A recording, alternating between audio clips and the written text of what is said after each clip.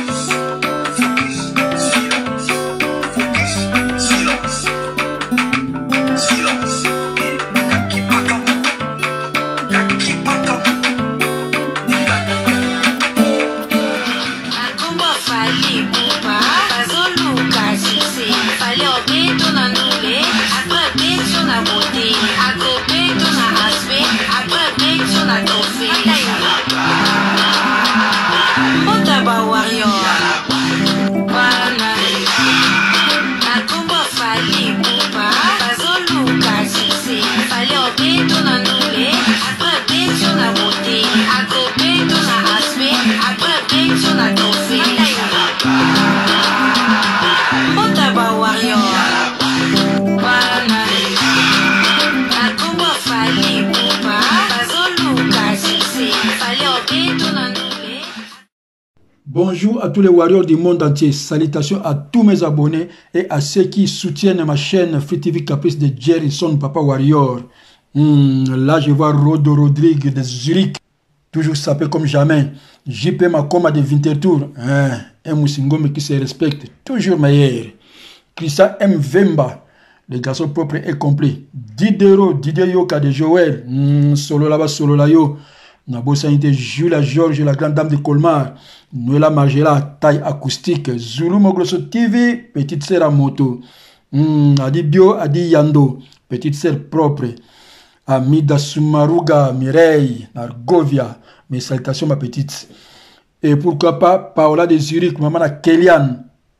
Hmm, on est ensemble.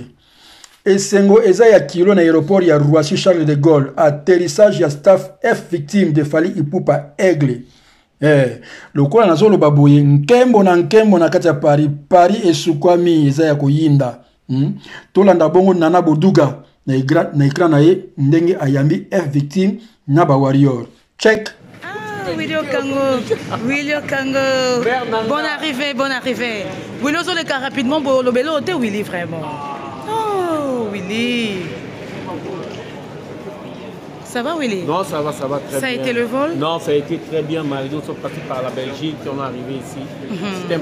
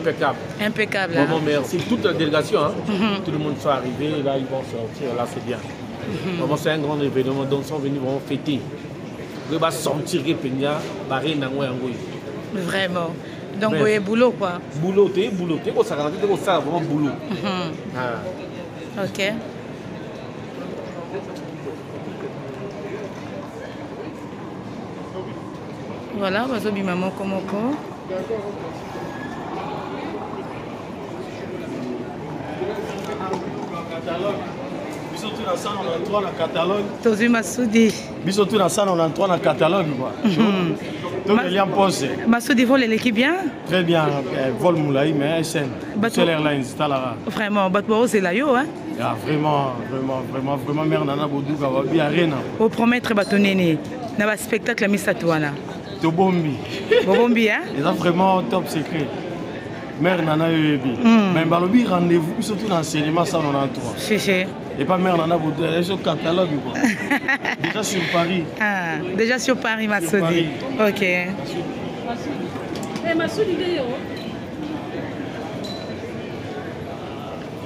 Tocha pause Voilà, tous en a l'aéroport de Jean, na Paris Charles de Gaulle. na paris charles de gaulle toyei kozwa bamusicien na bino toyei kozwa chanteuse chimene toyei kozwa équipe mombafali staff ya fali badanseuse nyonso bazobima sikoyo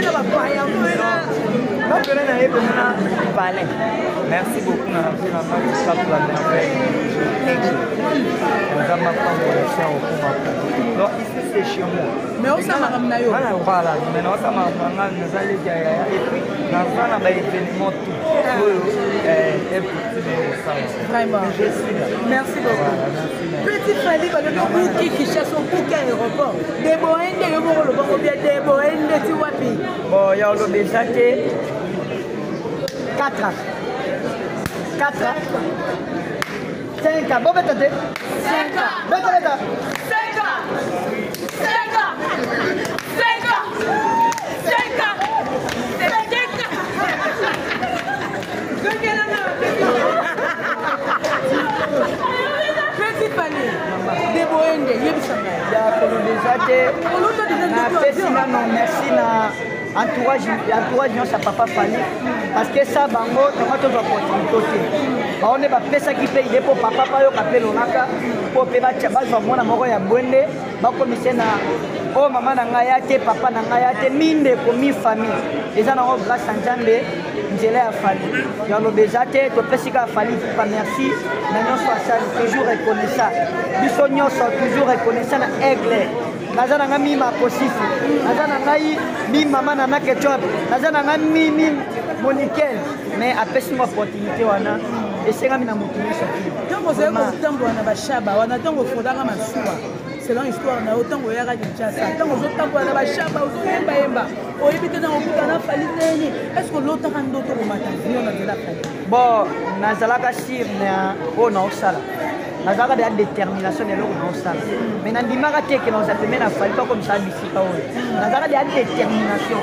e nzambe deya lokotinga na bwende kende nzela fali ekokomisa oyo bisika oyo nyonso mai nandimaka te ke naokoma awa ezaka bolingo fali na mawa na ye ndenge azolokota bao misusu bakomisa bao bato yango mpe epesinga mwa opportunité oyo nakomi ya mama nana bonipa avion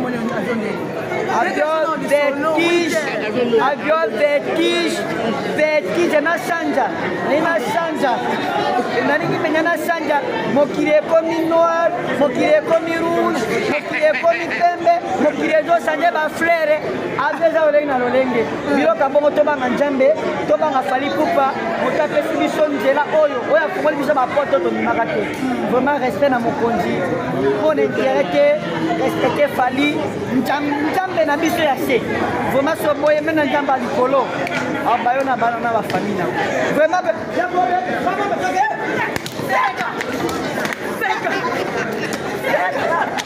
Thank you.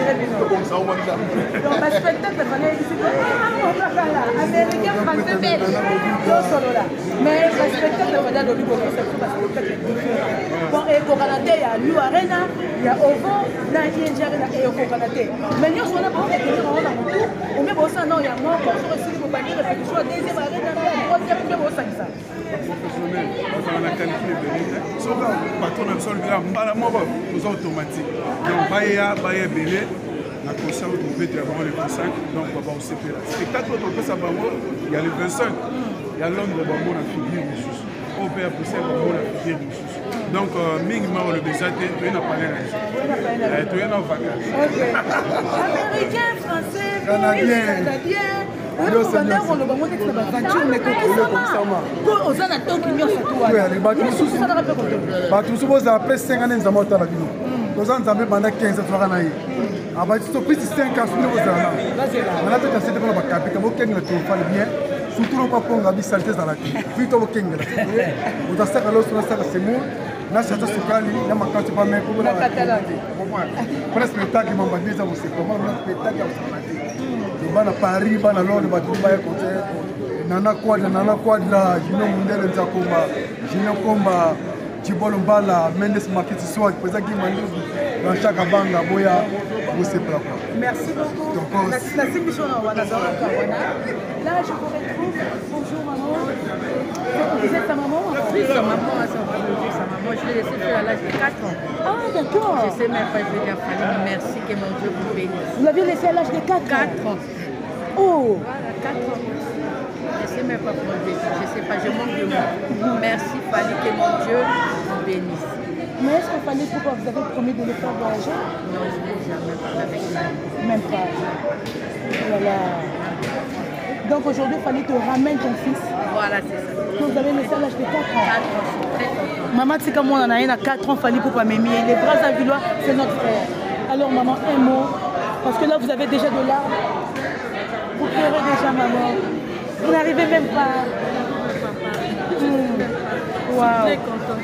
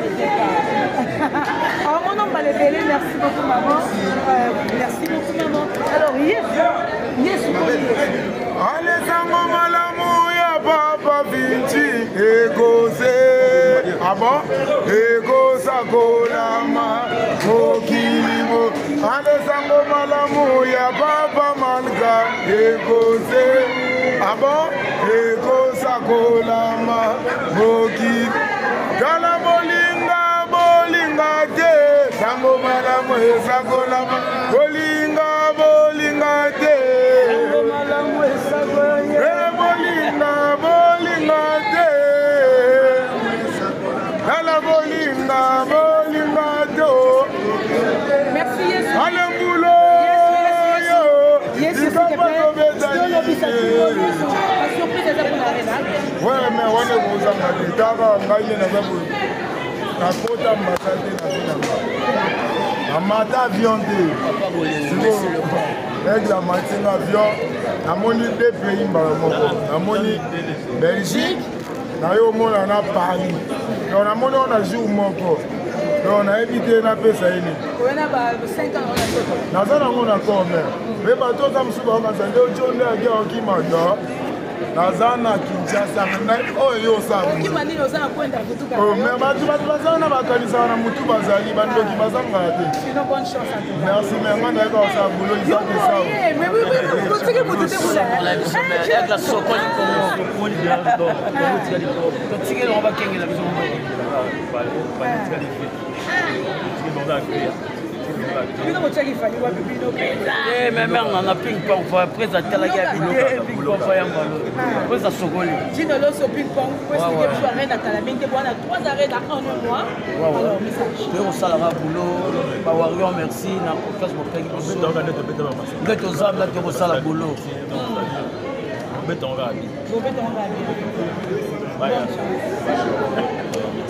bonne chance. Na Congo ba change ye kombo bakomo benga ye papa liopa amese shenge napesa visa atala te maloba mesa lokola ya nzambe soki olobi ye kokisamaka sukasuka bilaka ekolata nzoto na nga atomemi na yo bato ebele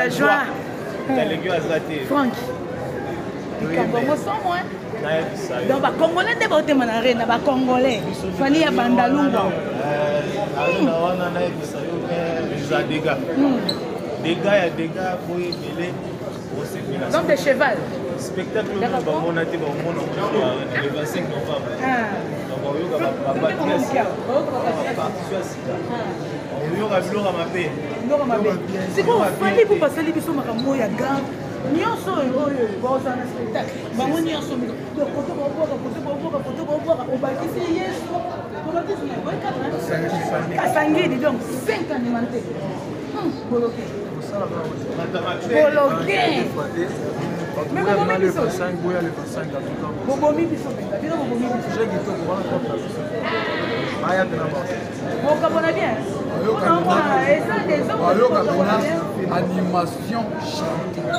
Ba- Banimateur baoyemba. Oyo eza mpena donc animation mpena donc telemi to oyemba to obwaka donc blage ya ti. Blage ya ti. Cheval toujours ozali na mpasi na tete ebisa ebakobaka le 25 oyo le 25 oyo ozali le 25 novembre yango oyo deja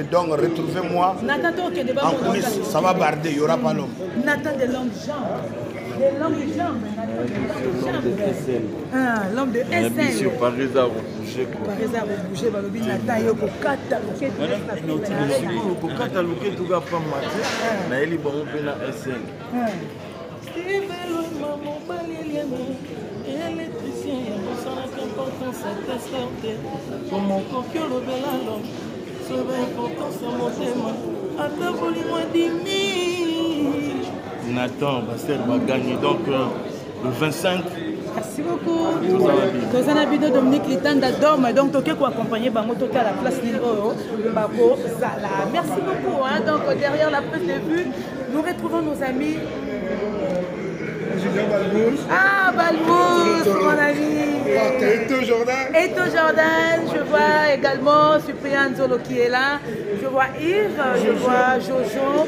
On est ensemble, la fête sera totale avec Fali Poupa. Maramoro de GC Bali. A tout à l'heure.